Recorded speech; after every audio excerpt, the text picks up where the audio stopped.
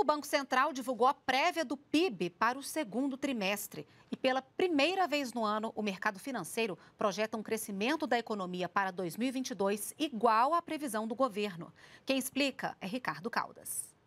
Bom dia, bom dia a todos. Nosso tema de hoje é o crescimento econômico com os resultados que saíram do Banco Central e também as expectativas em relação à inflação para este ano.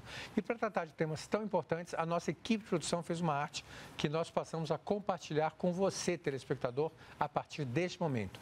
No mercado havia uma expectativa até semana passada que a inflação estaria em torno de 7, chegaria em torno de 7,11%. Essa semana, porém, o mercado já entendeu que a inflação deve ser menor e já reduziu seu padrão para algo em torno de 7% e deu então 7,02%.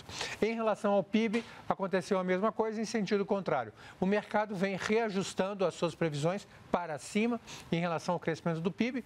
Na semana passada estava em 1,98, próxima da atual, e agora essa semana fechou então em 2%, convergindo, portanto, com a expectativa do Ministério da Economia, que espera um crescimento da economia em torno de 2%, para ano.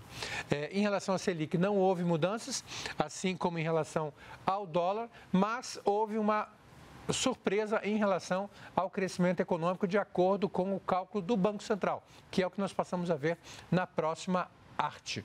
De acordo com a estimativa do Banco Central, que é chamada em economia de uma prévia do crescimento do PIB, houve então um crescimento de 0,57% de abril a junho sobre o primeiro trimestre. Com esse crescimento estimado pelo Banco Central, claro que depois vai ser confirmado ou não pelo IBGE, é, a expectativa de crescimento da economia é de que ela chegue a alguma coisa próxima a 2%. Essa informação que nós temos para você hoje. Continue conosco e tenha um ótimo dia.